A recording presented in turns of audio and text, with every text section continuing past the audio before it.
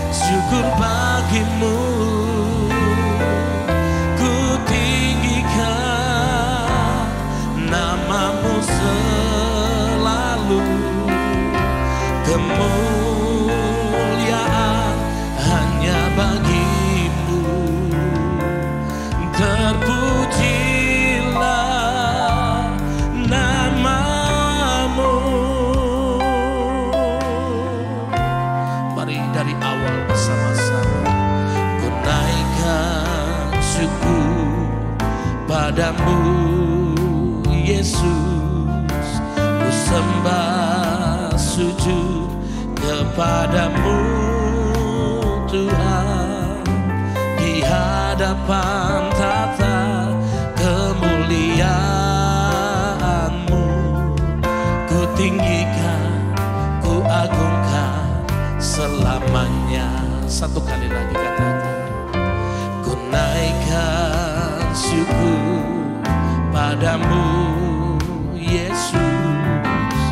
Ku sembah sujud kepadamu Tuhan. Di hadapan tata kemuliaanmu Ku tinggikan, ku agungkan selamanya. Mari buka kedua tanganmu. Segala puji syukur bagimu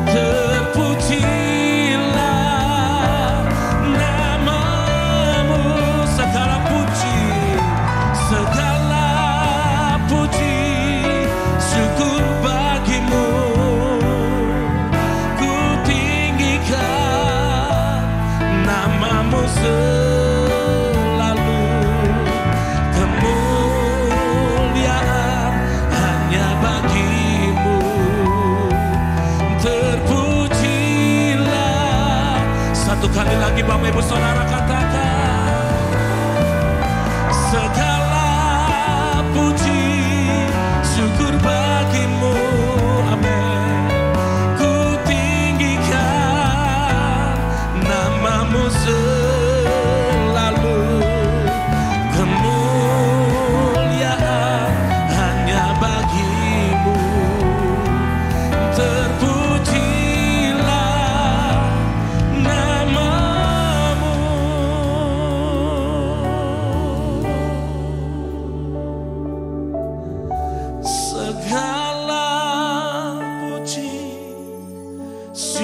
bagimu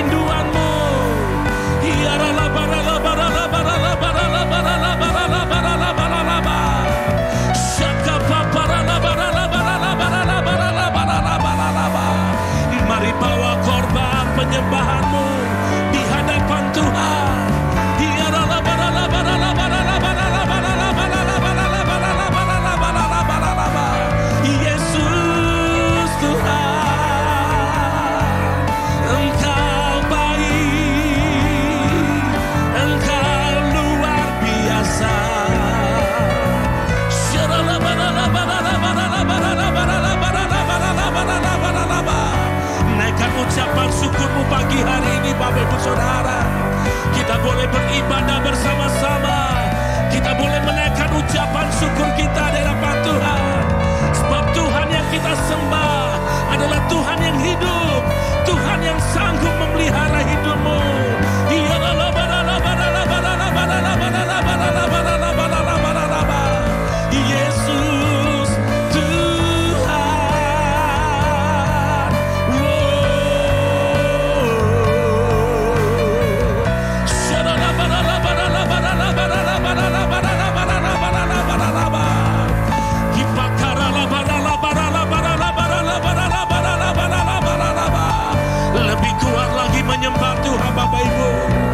lebih kuat lagi menyembah Tuhan.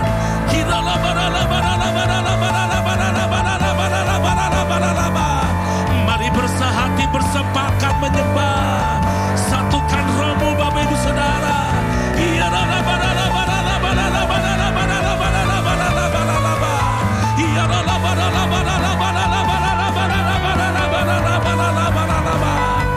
Berikan penyembahanmu yang terbaik buat Tuhan.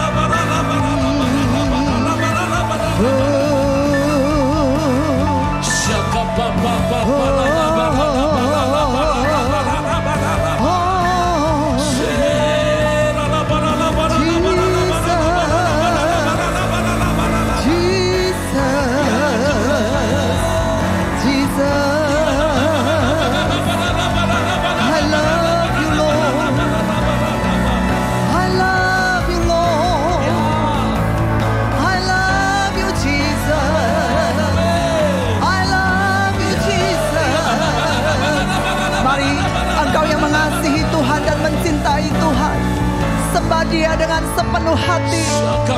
Haleluya. Oh.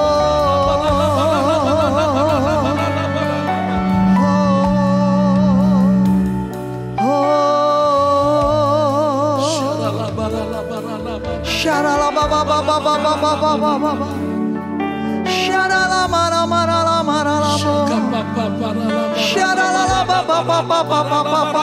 Mari terus berkata-kata di dalam roh dan kebenaran. Haleluya. Haleluya.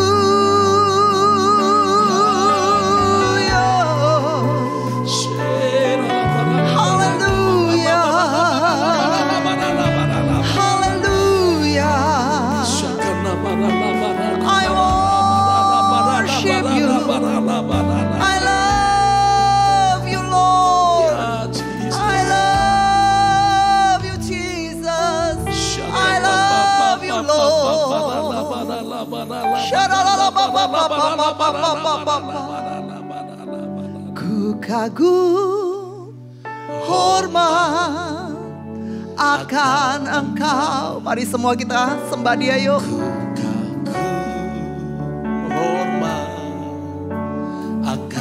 Hanya engkau yang kami kagumi. Allah amen, amen. yang lain yes, Lord Jesus. dipuji.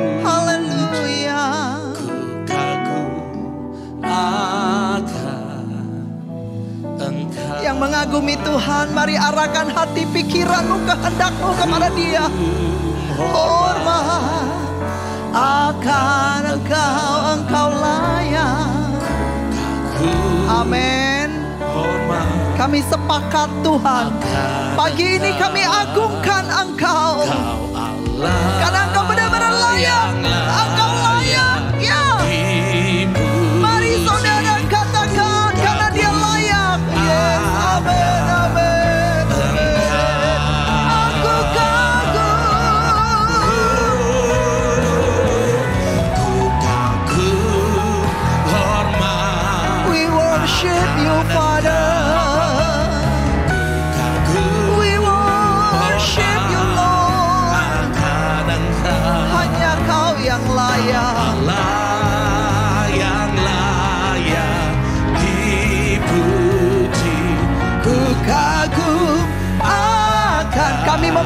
kebesaranmu.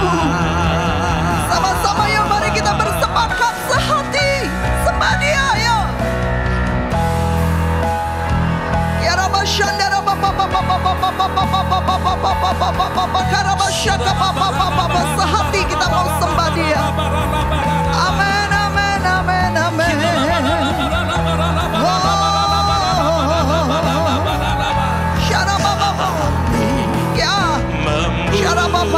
Papa Papa Papa. Yes Lord. Lebih lagi, lebih lagi, lebih lagi. Amin, amin. ajaib Tuhan, ajaib Tuhan, ajaib Dia yang ajaib. ajaib Tuhan. Kami memuji kebesaranmu. kami memujikan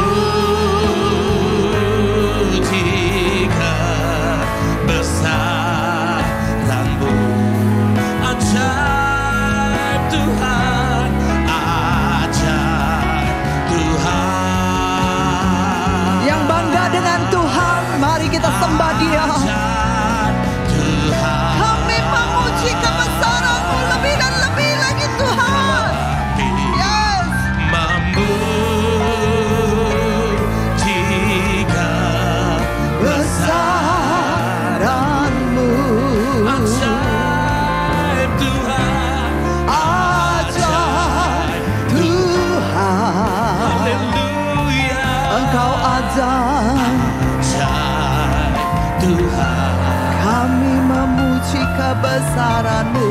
kami Amin. Lord Jesus. You are my Lord. besaranmu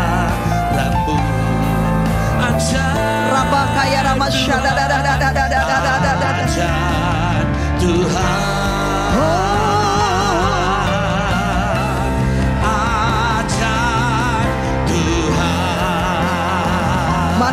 dari hati. Yuk meluap dari hati. Yes. Memuji kebesaranmu meluap dari hati ya. Sembah dia. Ajaib Tuhan. Haleluya Ajaib Tuhan. All out dengan Tuhan yuk. Kami Segenap hati. Kami sembah Engkau, Bapa. Ya Abah, ya Bapa. Kami memujimu. Amin. Yes. Tuhan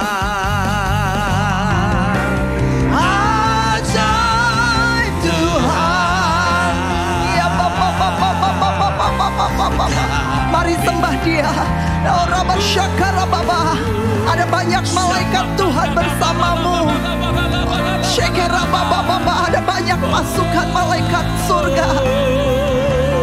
Berapa syaka papa papa papa mengiringi doamu pagi ini ya amin.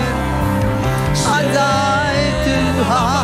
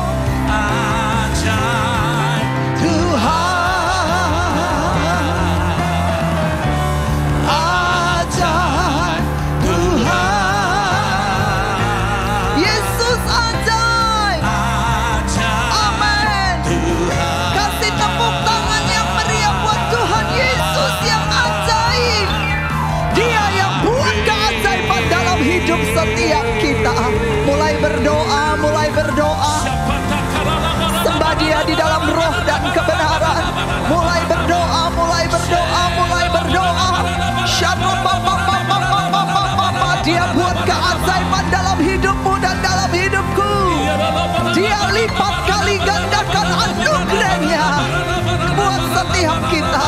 Dia limpahkan kebaikannya buat engkau dan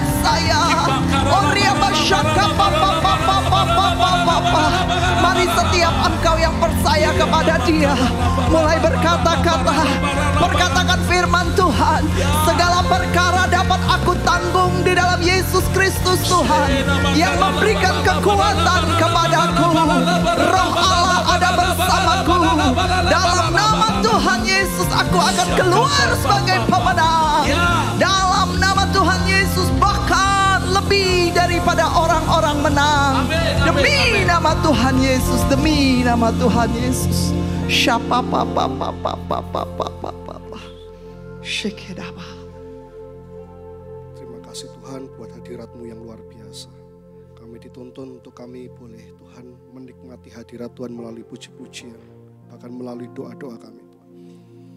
Mari Bapak Ibu sejenak sebelum kita mendengarkan firman Tuhan. Kita mengambil waktu sebentar untuk kita sama-sama mendoakan acara hari ini. di mana eh, putri dari Bapak Ibu Gembala kita akan melaksanakan pernikahan kudus pada hari ini.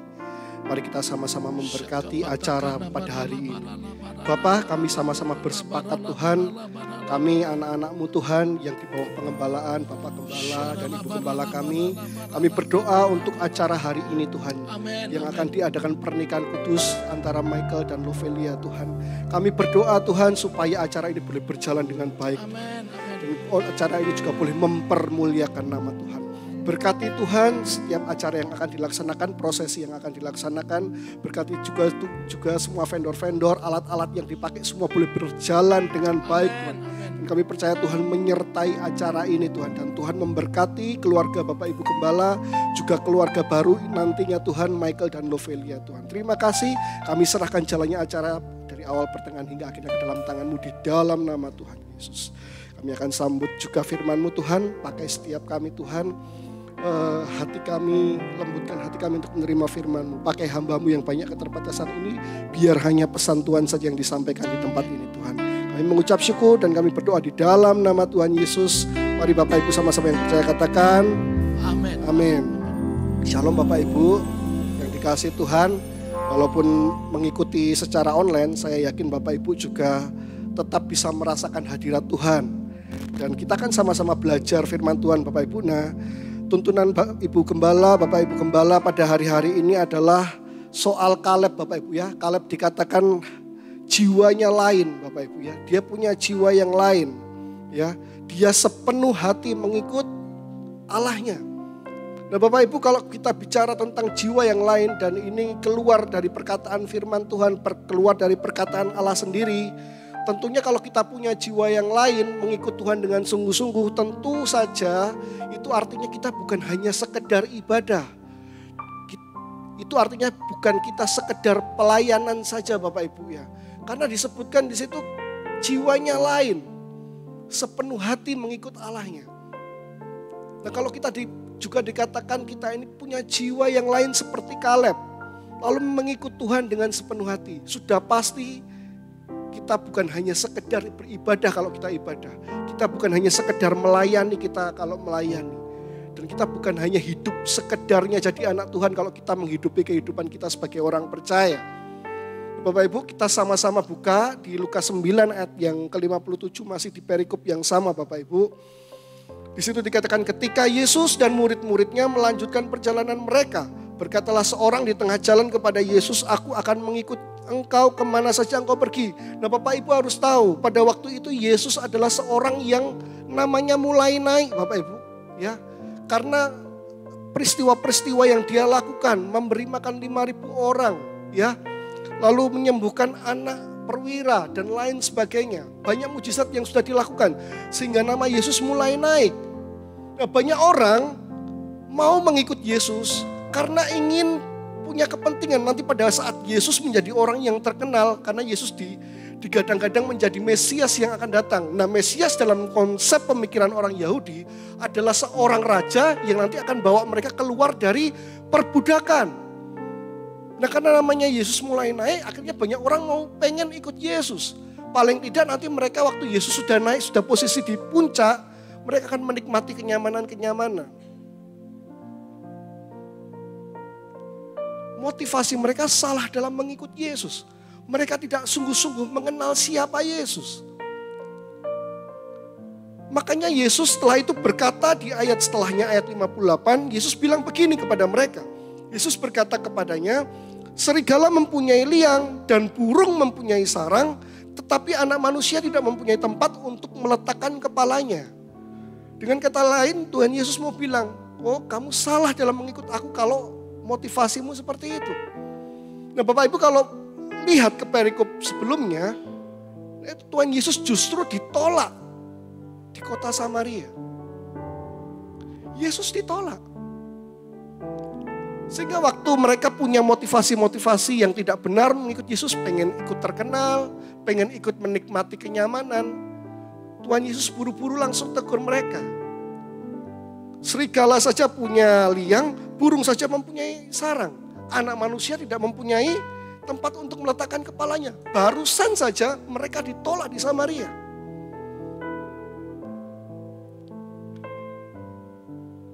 Dan dalam pelajaran ini, Yesus sebenarnya juga ingin mengajarkan murid-muridnya. Kenapa? Murid-muridnya mulai sombong. Mulai sombong, mentang-mentang ikut Yesus, Yesus melakukan banyak mujizat, murid-muridnya mulai sombong. Nah tahu dari mana? Bapak Ibu kalau baca perikop-perikop sebelumnya, salah satunya di ayat 46, di situ ada perikop yang berjudul siapa yang terbesar di antara para murid. Mereka mati-matian berkelahi cuman pengen tahu siapa yang terbesar di antara mereka. Bahkan dengan sombongnya waktu Yesus ditolak di Samaria, kita lihat sebentar di ayatnya yang ke-54. Ada dua, dua murid Tuhan Yesus yang begitu angkuhnya. Dikatakan apa di sana? Ketika dua muridnya, yaitu Yakobus dan Yohanes melihat hal itu, melihat apa? Melihat Yesus dan murid-murid ini ditolak, mereka bilang apa? Tuhan, apakah engkau mau supaya kami menyuruh api turun dari langit untuk membinasakan mereka? Wih, mentang-mentang ikut Yesus, mentang-mentang Yesus punya kuasa, mereka juga ikut punya kuasa. Ya, lalu ketika Yesus ditolak, mereka mau apa? Mau minta apa? Api turun dari langit untuk membinasakan mereka. Sampai apa yang Yesus lakukan di ayat 55, akan tetapi ia Yesus berpaling dan menegur mereka. Memang gak disebutkan tegurannya seperti apa, tapi saya yakin Yesus menegur dengan keras. Ini konsep murid-muridnya juga mulai berpalingin. Mengikut Yesus bukan lagi untuk sungguh-sungguh mengikut Yesus, tapi mulai gaya-gayaan, mulai keren-kerenan, punya kuasa. Sehingga siapa pun mau ketika Yesus tolak Samaria, dia mau menurunkan api, mau menghanguskan mereka. Jadi kekuasaannya disalahgunakan. Kekuasaan yang harusnya untuk menolong orang, untuk membawa Injil, untuk membawa orang kepada Yesus, tapi disalahgunakan. Nah berapa banyak Bapak Ibu di antara kita, kalau kita mau seperti Kaleb yang lain jiwanya, yang mengikut Tuhan sepenuh hati. Hari ini kita belajar Bapak Ibu. Ikut Tuhan jangan punya motivasi apa-apa. Jangan pengen keren. Jangan pengen, hebat. Jangan pengen punya kenyamanan-kenyamanan tertentu yang memuaskan kita. Walaupun janji berkat Tuhan itu pasti ada Bapak Ibu.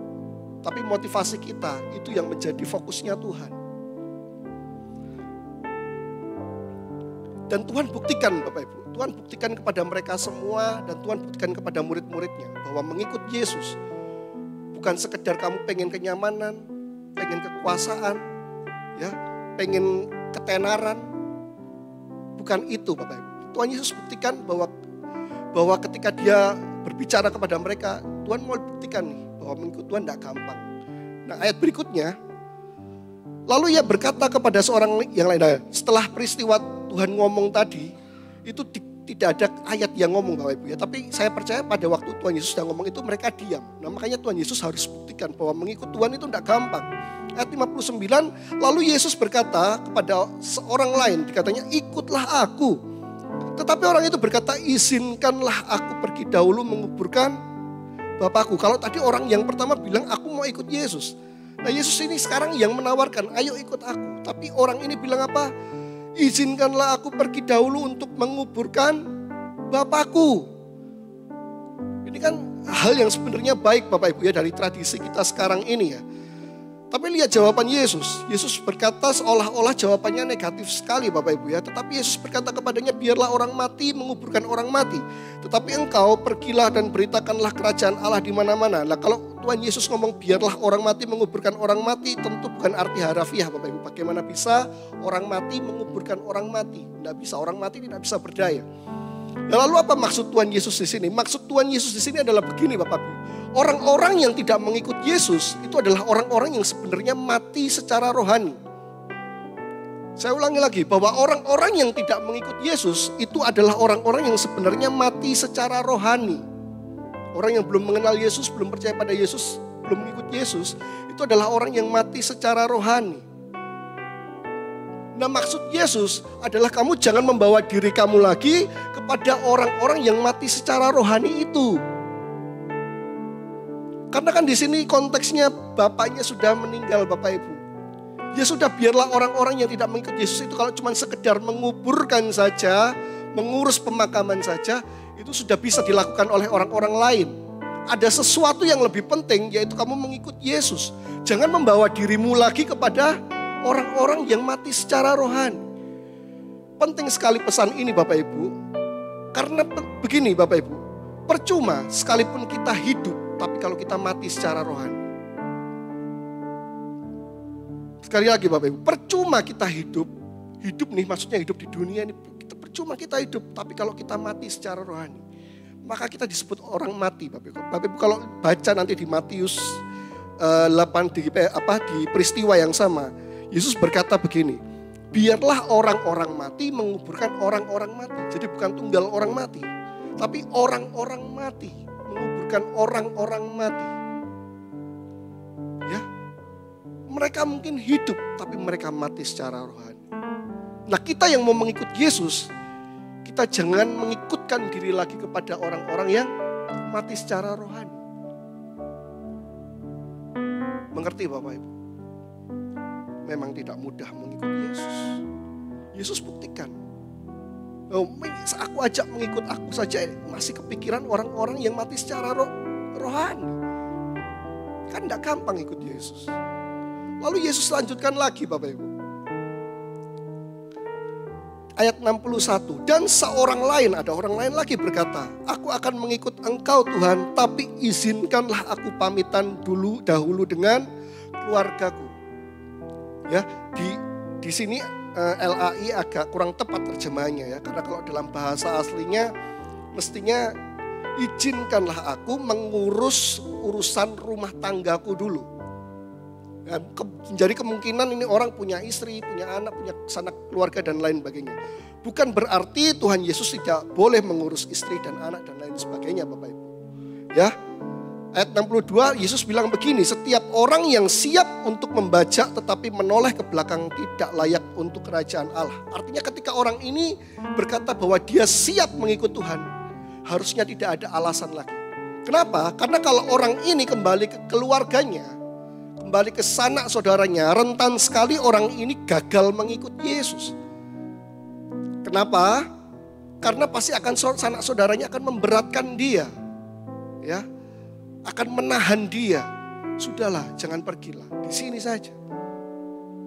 Jadi situasi yang nanti akan membuat dia gagal mengikut Yesus, sulit untuk mengikut Yesus, berat untuk mengikut Yesus.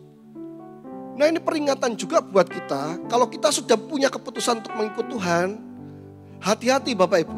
Untuk kita jangan kembali kepada situasi yang nantinya malah membuat kita untuk berat mengikut Yesus. Kalau kita sudah putuskan mengikut Yesus sungguh-sungguh, maka tinggalkan kehidupan kita yang lama. Maksudnya seperti itu. Jangan nanti kita kembali ke kehidupan yang lama, mungkin maksudnya kita cuma mampir, bertemu teman-teman kita yang lama, ya bertemu komunitas kita yang lama, cuman untuk silaturahmi, cuman untuk say. Tapi dengan kita kembali ke situ, nanti kita akan menghadapi situasi yang lebih berat. Situasi yang menahan kita untuk kita sungguh-sungguh mengikut Tuhan. Bayangkan Bapak Ibu, dari firman Tuhan ini kita tahu bahwa mengikut Tuhan itu tidak gampang. Ternyata pada waktu Tuhan ajak untuk mengikut dia pun, banyak orang masih memikirkan hal-hal yang menjadi kepentingan. Yang seolah-olah hal itu sebenarnya kalau seolah-olah baik, seolah-olah benar, tapi itu menjadi penghalang untuk dia mengikut Tuhan. Nah hari ini Bapak Ibu, mungkin pada waktu kau memutuskan mengikut Tuhan sungguh-sungguh. Pada waktu engkau memutuskan untuk mempunyai jiwa yang lain, ya mengikut Tuhan sepenuh hati ada hal-hal yang memberatkan engkau Bapak. Ya. Ada hal-hal yang mencoba menahan engkau. Nah hari ini Bapak Ibu, tetapkan hati kita, keputusan kita untuk mengikut Tuhan. Berat memang Bapak Ibu. Kita ikut Tuhan sepenuh hati itu berat. Kita tidak boleh punya motivasi apa-apa. Jangan mau terkenal. Ya, jangan mau kita ini mencuri kemuliaan Tuhan. Jangan mau kita mendapatkan keuntungan-keuntungan, kenyamanan-kenyamanan tertentu. Kita harus bebas dari motivasi-motivasi seperti itu. Supaya layak mengikut Tuhan. Aduh Pak, kalau begitu mengikut Tuhan tidak enak dong. Kalau begitu mengikut Tuhan, dapat sorone tok Pak. Dapat gak enaknya aja. Bapak Ibu jangan berkata seperti itu. Yesus sudah kasih teladan. Kita buka sebentar dalam Filipi. Setelah itu nanti saya akan selesai. Filipi pasal kedua. Filipi pasal kedua ayat 25. Tuhan Yesus tidak asal omong, tapi Tuhan Yesus kasih contoh Bapak Ibu ya. Dikatakan begini, hendaklah kamu dalam hidupmu bersama menaruh pikiran dan perasaan yang terdapat juga dalam Kristus Yesus. Nah ini sebuah perintah Bapak Ibu. Hendaklah kamu dalam hidupmu bersama menaruh pikiran dan perasaan terdapat juga dalam Kristus Yesus. Jadi perasaan dan pikiran yang seperti ini juga harus kita punya. Nah perasaan pikiran yang seperti apa Pak? Lihat ayat 6. Yang walaupun dalam rupa Allah tidak menganggap kesetaraan dengan Allah itu sebagai milik yang harus dipertahankan. Lihat, Yesus pun juga tidak mempertahankan apa yang jadi miliknya. Apa yang sesuatu yang nyaman buat dia. Yesus tidak pertahankan. Tujuh, melainkan telah mengosongkan dirinya sendiri dan mengambil rupa seorang hamba dan menjadi sama dengan manusia. Itu keadaan yang gak enak Bapak Ibu ya. Untuk Yesus yang sejatinya adalah seorang Allah Ya, tapi dia harus mengosongkan dirinya, mengambil rupa seorang hamba dan menjadi manusia. Mengambil posisi yang sangat-sangat-sangat di bawah. Ini gak enak sekali Bapak Ibu. Ayat ke-8. Dan dalam keadaan sebagai manusia, ia Yesus telah merendahkan dirinya dan taat sampai mati, bahkan sampai mati di kayu salib. Bahkan dia harus taat, taatnya sampai apa? Sampai mati. Ya, di kayu salib. Saya rasa di, saya dan Bapak Ibu tidak ada yang harus taat sampai mati ya Bapak Ibu ya. Sampai mati di kayu salib tidak ada. Yang kita lakukan apa? Hanya mengikut Tuhan saja. Melepaskan semua hal-hal yang tidak enak tadi. Hal-hal yang ketenaran, yang apa kita buang semua itu dari kehidupan kita. Motivasi-motivasi seperti itu kita buang semua. Dan apakah yang Yesus dapatkan akhirnya hanya soronya saja Bapak Ibu? Menderitanya saja? Tidak Lihat ayat 9, dikatakan itulah sebabnya Allah sangat apa? Meninggikan dia dan mengaruniakan kepadanya nama di atas segala nama. Bapak Ibu lihat ayat 9 dikatakan itulah sebabnya. Itulah sebabnya itu yang mana Bapak Ibu? Ya Yesus Allah yang mengambil rupa seorang hamba, merendahkan diri taat sampai mati.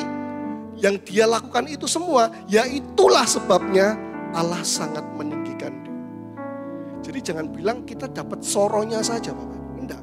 Tapi ketika kita melakukan bagian kita, membuang semua motivasi-motivasi yang tidak baik, ya motivasi-motivasi yang mengunggulkan nama kita, menenarkan nama kita, ya tapi meninggikan Tuhan ya kita mengambil bagian itu kita mengikut Tuhan dengan sepenuh hati ya lain jiwanya kita apa yang kita dapatkan seperti Yesus Bapak ayat 9 dikatakan itulah sebabnya Allah sangat meninggikan saya percaya kalau Bapak Ibu lakukan ini Allah juga akan meninggikan kita ketika kita mau komitmen untuk kita hati kita benar hati kita lain di hadapan Tuhan kita sepenuh hati mengikut Tuhan saya percaya Allah juga akan meninggikan kita. Caranya bagaimana bukan urusan saya dan Bapak Ibu. Ada urusan yang harus kita kerjakan. Apa itu? Mengikut Tuhan dengan sepenuh hati. Sampai Tuhan dapati jiwa yang ada di dalam kita lain seperti kalian. Maka Tuhan kita akan mendapatkan peninggian dari Allah. Yesus buktikan itu Bapak Ibu. Ketika dia harus sungguh-sungguh taat Ya, dia mengambil rupa seorang hamba, turun jadi manusia, Allah yang jadi manusia. Sangat rendah. Bahkan dalam keadaan manusia dia harus dipermalukan. Dia harus menderita dan menderita sampai mati. Tapi apa yang Tuhan dapatkan? Oh Tuhan, Allah sangat meninggikan dia. Mengaruniakan kepadanya nama di atas segala nama. Hari ini kita berdoa, sakit di dalam nama siapa? Dalam nama Yesus kita terpuruk, kita doa dalam siapa? Dalam nama siapa? Nama Yesus. Ya. Kita terbaring di rumah sakit. Siapa yang nama siapa yang bisa menyembuhkan kita? Nama Yesus. Kenapa Yesus bisa dapat kehormatan begitu luar biasa? Lihat apa yang dia lakukan Bapak. Dia taat dan merendahkan dirinya bahkan sampai mati. Hari ini kalau kita sepenuh hati juga mengikut Tuhan. Sama seperti yang Yesus lakukan sepenuh hati maka kita akan mendapat peninggian dari Tuhan. Peninggian dari Tuhan bisa bermacam-macam Bapak. Ya, kita dengar banyak kesaksian dari jemaat-jemaat GBC. Ya, bagaimana Tuhan meninggikan mereka. Itu tidak terjadi secara otomatis Bapak karena mereka sungguh-sungguh sepenuh hati mengikut Tuhan. Makanya mereka dapat peninggian. Hari ini Bapak Ibu, bagian kita adalah taat. Bagian kita mengikut Tuhan sepenuh hati. Jangan ada lagi yang menghalangi kita untuk mengikut Tuhan sepenuh hati. Memang tidak mudah, memang tidak gampang. Kami semua di sini merasakan mengikut Tuhan itu tidak mudah, tidak gampang. Sepenuh hati, apalagi sepenuh hati Bapak Ibu. Tidak mudah, tidak gampang. Ada bagian-bagian dalam diri kita yang harus dimatikan. Kita ketika kita melakukan itu Bapak Ibu. Allah disukakan Bapak. Allah disenangkan. Dan tiba waktunya nanti Allah meninggikan kita. Itu sebabnya kita harus belajar untuk kita merendahkan diri, untuk kita mengikut Tuhan sepenuh hati. Sampai sampai Bapak Ibu, sampai Tuhan dapati hati kita lain, Bapak Ibu. jiwa kita lain. Ketika kita beribadah kita tidak sekedar beribadah. Ketika kita melayani kita tidak sekedar melayani. Tapi ketika Tuhan lihat kita beribadah, ketika Tuhan lihat kita melayani, Tuhan bisa berkata, jiwa orang ini lain. Amin. Mari kita berdoa. Kami mengucap syukur Tuhan untuk firman Tuhan yang sudah boleh kami dengar. Belajar melalui firman-Mu bahwa kami mengikut Tuhan dengan sepenuh. Kami sungguh-sungguh sepenuh hati mengikut Tuhan, walaupun memang tidak mudah, tidak gampang Tuhan. Tapi kami tahu Tuhan, ketika kami sungguh-sungguh taat mengikut Tuhan dengan sepenuh hati. Sama seperti Yesus yang melakukan bagiannya dengan sepenuh hati. Itulah sebabnya Allah sangat meninggikan dan kami percaya juga ketika kami melakukan bagian kami dengan sepenuh hati, Tuhan juga akan meninggikan kami Tuhan. Terima kasih Tuhan. Kami sungguh mengucap syukur. Melayani, mengasihimu, mengiringmu seumur hidupku. Janjimu kan tetap ku pegang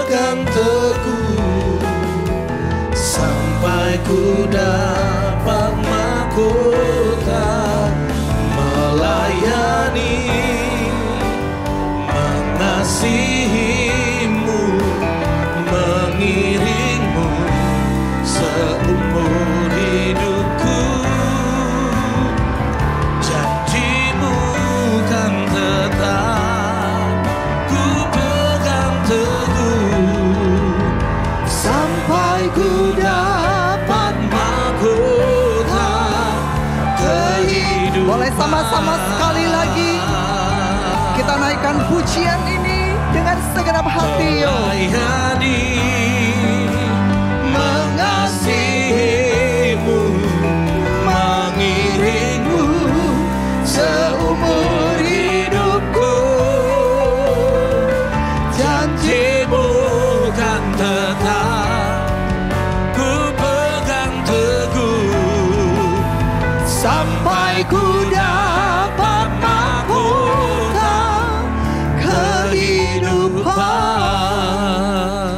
Kerinduan hati kami Bapa. Kami mau ikut Tuhan sepenuh hati. Barang siapa mengikut Tuhan sepenuh hati, dia akan mengambil keputusan untuk melayani Tuhan. Kekasih-kekasih Tuhan, firman Tuhan kita udah dengar. Biarlah Bapak, Ibu, dan saya kita bertumbuh di dalam Kristus. Kita tidak hanya datang beribadah, tapi kita mulai bergerak untuk kemuliaan nama Tuhan. Kita mulai mencari jiwa, kita mulai ambil bagian dalam pelayanan. Karena firman Tuhan berkata di dalam Yohanes pasal 12 ayat 26. Firman Tuhan berkata Yohanes pasal 12 ayat 26, barang siapa melayani aku, Barang siapa melayani aku, ia harus mengikut aku. Dan di mana aku berada, di situ pun pelayanan pelayanku akan berada. Barang siapa melayani aku, ia akan dihormati Bapa. Izinkan saya untuk memutar sedikit firman ini. Barang siapa mengikut Tuhan, dia harus melayani Tuhan. Dan firman Tuhan berkata, barang siapa melayani Tuhan, ia akan dihormati Bapa. Mari Bapak Ibu dan saya, saya percaya Bapak Ibu dan saya pasti merindukan hal ini. Amin. Disayang Tuhan, dikasihi Tuhan, apalagi dihormati Tuhan. Orang-orang yang mau dihormati Tuhan, mari Bapak Ibu, kasihi dia dan layani dia. Tuhan tidak suka dengan jemaat Tuhan yang memberikan telinga untuk mendengar firman. Tuhan tidak bangga. Tapi Tuhan akan jauh lebih bangga kepada kita yang memberikan telinga untuk mendengar firman dan melakukan firman. Menghidupi firman dengan benar. Itu Tuhan akan bangga dengan hidupmu dan hidupku. Dan saya yakin percaya Tuhan akan mengasihimu dan menghormatimu. Mari kita buka kedua tangan kita. Kita mau akhiri ibadah kita pagi ini. Saya percaya ini ibadah yang sangat memberkati Bapak Ibu dan saya. Membawa sebuah perubahan yang luar biasa atas hidupmu. Pengenalanmu kepada Kristus akan lebih dalam. Amin. Amin. Dan engkau dibawa pada kebenaran Kristus. Saya percaya Bapak Ibu dan saya adalah orang-orang yang siap menyambut kedatangan Tuhan. Amin. Amin. Mari orang yang siap untuk mengikut Tuhan sepenuh hati dan mau ambil bagian dalam melayani. Bapak Ibu adalah orang-orang yang diberkati Tuhan. Bapak Ibu adalah orang-orang pengusaha. Profesional-profesional. Mari Bapak Ibu berikan waktumu, berikan keuangan yang ada Tuhan percaya kepadamu untuk mencari jiwa. Kira Bapak, Bapak, Bapak, engkau bisa mendukung pekerjaan Tuhan di bumi ini. Syara mama, mama. Mungkin ada dari kita yang berkata, aku nggak bisa apa-apa dan aku nggak punya apa-apa. Saya percaya engkau punya waktu. Mari bangkit dan bangun, bersyafaatlah, berdoa buat bangsamu, buat kotamu, buat gerejamu, buat keluarga-keluarga kudus, buat anak-anak Tuhan.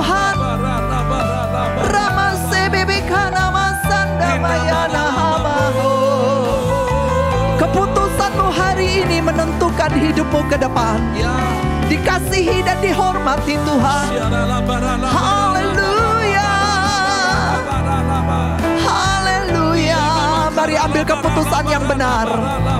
Oh, responi tuntunan Tuhan hari-hari ini. Responi tuntunan Tuhan hari-hari ini. Ketika engkau mengikut Tuhan sepenuh hati, Tuhan akan bawa engkau masuk ke dalam tanah perjanjian.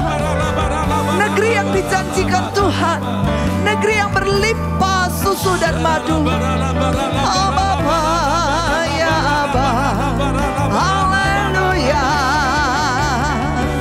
Segala puji, syukur bagimu.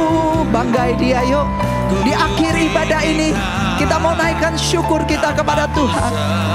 Hari ini keluarga gembala kita sedang mengadakan pengucapan syukur. Mari Bapak Ibu dan saya kita bersepakat. Kita mendukung pemimpin rohani kita. Berkati dia, berkati beliau, berkati mereka. Ya Bapak, segala puji pemimpin-pemimpinmu adalah yang berdoa, keselamatan jiwamu. Mari hari ini ambil waktu, doakan beliau-beliau. Biarlah berkat dari surga turun kepada rumah tangga keluarga pemimpin kita. Segala puji. Syaralabalaba kami bersepakat Bapa. Kami minta pengurapanmu, kasihmu, cintamu, berkatmu turun atas pemimpin rohani kami. Yang setiap pagi menyediakan hidangan buat kami. Yang setiap pagi berdoa buat kami. Pagi ini Tuhan, kami mau beri waktu kami. Kami mau berdoa buat keluarga hambamu. Bapak Pendeta Lukas Suprayatno. Bapak engkau berkati. Engkau berkati apa yang dikerjakan oleh hambamu hari ini.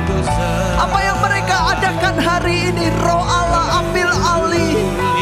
Biarlah kemuliaan Tuhan yang dinyatakan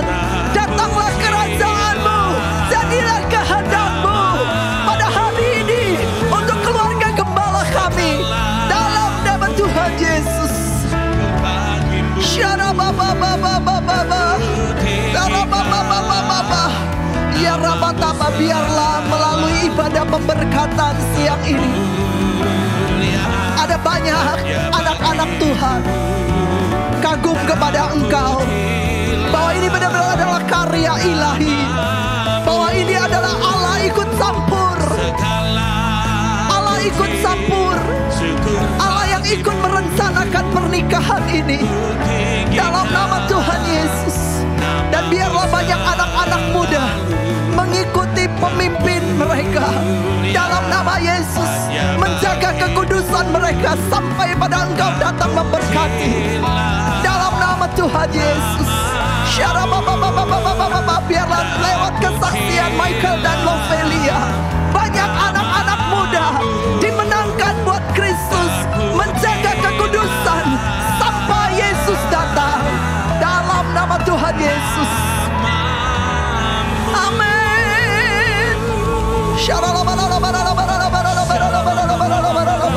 Mari buka kedua tanganmu di hadapan Tuhan. Hari ini terimalah berkat Tuhan. Berkat dari Allah Bapa yang tidak pernah habis dalam hidupmu.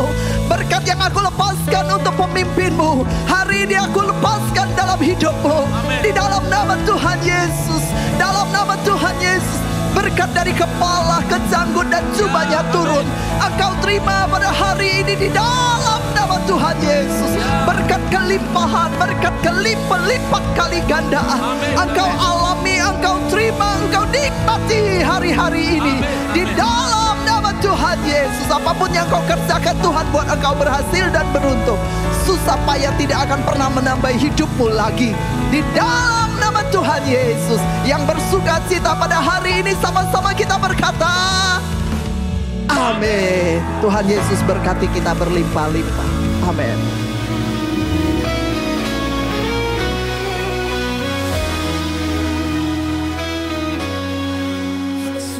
Shalom saudara yang terkasih, bersama saya Jenjan akan menginformasikan seputar Goshen Blessing Church dalam sepekan. Mari kita simak informasi selengkapnya. Ibadah doa malam Goshen Blessing Church diadakan pada hari Rabu 25 September 2024 pukul 7 malam. Dilayani oleh Pastor Gideon Liang Sugiarto dari Malang. Bertempat di Main Hall lantai 1. Kami mengundang saudara yang terkasih untuk menghadiri ibadah raya Goshen Blessed Church Kenjeran Minggu 22 September 2024 dalam empat kali ibadah. Ibadah pertama pada pukul 7 pagi, ibadah kedua pada pukul 9 pagi, ibadah ketiga pada pukul 11 siang, dan ibadah keempat pada pukul 5 sore yang akan dilayani oleh Pastor Henry Suteja dari Tasikmalaya, bertempat di Main Hall lantai 1. Ikutilah Mespa Pagi Pemulihan Pondok Daud Goshen Blessing Church setiap hari Senin sampai Sabtu mulai pukul 5 sampai 6 pagi bersama dengan Pastor Lukas Supraitno dan Pastor Elisha Fasusan. Hadirilah ibadah rumah doa Goshen Blessing Church pada hari Jumat 27 September 2024 pukul 10 pagi. Ibadah kali ini juga disertai dengan pengurapan dan bertempat di main hall lantai 1.